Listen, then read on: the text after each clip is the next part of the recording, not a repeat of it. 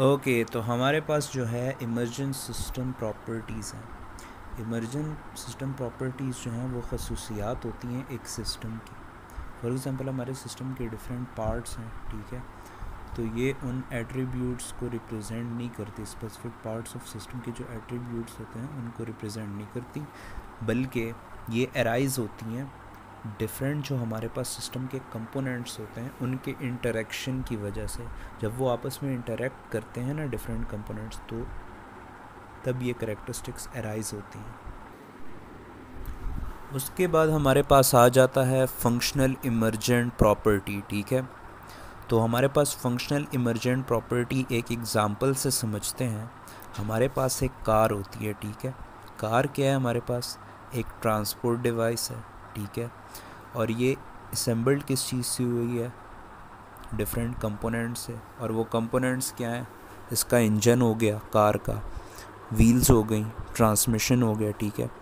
और जब ये आपस में मिलती हैं, काम करती हैं, ये डिफरेंट पार्ट्स मिल के काम करते हैं वर्क टुगेदर करते हैं तो इसको क्या कहते हैं? इसकी फंक्शनल प्रॉपर्टी कार की फंक्शनल प्रॉपर्टी ठीक है। इसका काम क्या है उस फंक्शनल प्रॉपर्टी का? कि ये ट्रांसपोर्ट का काम करता है, चीज़ों को ले लेके जाता है गुड्स चीज़ों को पहुंचाता है एक जगह से दूसरी जगह। तो ये हमारे पास क्या हो गई? फंक्शनल प्रॉपर्टी उसके बाद हमारे पास आ जाता है नॉन फंक्शनल इमरजेंट प्रॉपर्टी ठीक है? इसका काम भी एक एग्ज़ाम्पल के तौर पे हम समझते हैं। हमारे पास एक वेबसाइट है, उसकी परफॉर्मेंस मैयर करनी है। तो ये क्या है? एक नॉन फंक्शनल प्रॉपर्टी है। क्यों?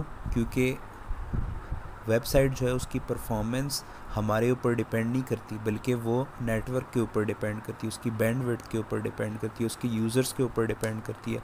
हमने जो वेबसाइट बनाई है, वो बिल्कुल सही बनाई है, लेकिन जो इंटरनेट है, उसका भी रोल इसमें है।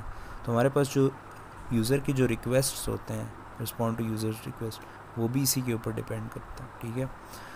उसके बाद इसकी और जो डिपेंडेंसीज हैं, वो टेक्निकल सिस्टम कंपोनेंट्स हैं। फॉर एग्जांपल रैम कितनी है, ठीक है, इसके लिए रैम कितनी चाहिए? वेबसाइट को एक्सेस करने के लिए स्टोरेज कितनी है? ऑपरेटर्स क्या हैं?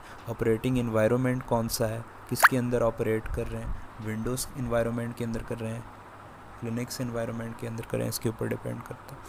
एक इसकी एग्ज़ाम्पल ये लग से, ले सकते हैं हम कि एक यूज़र है, उसने रिक्वेस्ट की वेबसाइट को। और हमारे पास उसका रिस्पॉन्स नहीं है यूज़र के पास तो उससे क्या हो सकता है? रिपोटेशन डैमेज हो सकती है वेबसाइट ऑनर की, ठीक है? तो ये हमारे पास नॉन फंक्शनल प्रॉपर्टी है। अच्छा उसके बाद अगर हम बात करें तो हमारे पास रिलायबिलिटी आ जाती है, ठीक है? तो रिलायबिलिटी में हमारे पास एग्जांपल आ जाती है पावर ग्रिड की। और ये कौन सी प्रॉपर्टी है? कॉम्प्लेक्स इमरजेंट प्रॉपर्टी है, ठीक है? इसमें हमारे पास प्रॉब्लम्स क्या आती हैं? कॉम्प्लेक्स इमरजेंट प्रॉपर्टीज़ में। डिफ़िकल्ट टू एक्सेस होता है। सपोज़ करें एक ग्रिड है पावर ग्रिड बीच वाला जो ग्रिड है, उसमें फेलियर आ गया। तो साथ वाले जो ग्रिड्स हैं, वो ज़ाहरी बात है, वो ख़राब हो जाएँगे। तो हमारे पास फेलियर जो है, एक कंपोनेंट के अंदर प्रोपगेट हो जाता है बाकी कंपोनेंट्स में। फॉर एग्ज़ाम्पल जो सिस्टम है हमारा पूरा, तीन पावर ग्रिड्स का, वो सारा सारा का सारा ख़राब हो जाता है। उससे क्या होता है, हमारे पास ब्लैक आउट्स आ जाते हैं मतलब बिजली जो होती है वो काफ़ी अर्से तक नहीं आती। इसी तरह अगर हम सिक्योरिटी की बात करें कंप्यूटर नेटवर्क की तो कोई भी जो सिस्टम है पूरे वर्ल्ड के अंदर वो फुल प्रूफ नहीं है।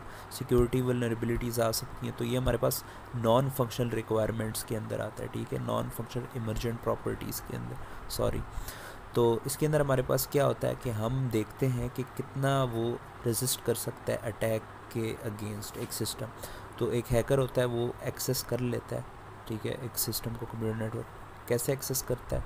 वनरेबिलिटीज़ को एक्सप्लॉयट करता है, ठीक है? उसे एक्सेस मिल जाती है, ठीक है? की के ज़रिए वो पूरे कंप्यूटर नेटवर्क के अंदर वो एक्सप्लॉयट कर जाता है। तो ये हमारे पास एक नॉन फंक्शनल इमरजेंट प्रॉपर्टी है। इसी तरह हमारे पास यूजेबिलिटी आ जाती है। सपोज़ करें एक वेब ऐप है व्हाट्सएप ठीक है? उसकी जो यूजेबिलिटी है, वो नॉन फंक्शनल इमरजेंट प्रॉपर्टी के अंदर आती है। कैसे? क्योंकि वो हमारे ऊपर डिपेंड नहीं करती कि यूज़र कैसे परसीव कर रहा है, कैसे ऐप को यूज़ कर रहा है। हमने तो ऐप बना लिया, उसके अंदर यूज़र के लिए काफ़ी प्रॉब्लम्स आ सकती हैं। तो how to use the app depends on किसके ऊपर डिपेंड करता है टेक्निकल सिस्टम कंपोनेंट्स के ऊपर ऑपरेटर्स के ऊपर और ऑपरेटिंग इन्वायरमेंट के ऊपर कि वो किस ऑपरेटिंग इन्वायरमेंट में इसको यूज़ कर रहा है सॉफ्टवेयर को, ठीक है? तो ओवरऑल हमारे पास जो इमरजेंस सिस्टम प्रॉपर्टीज़ जो होती हैं, वो क्या होती हैं कि इसेंशियल होती है। इसेंशियल किस चीज़ के लिए होती हैं? Significantly impact on the systems overall performance reliability and user satisfaction ठीक है? तो ये चीज़ें हमें जहन में रखनी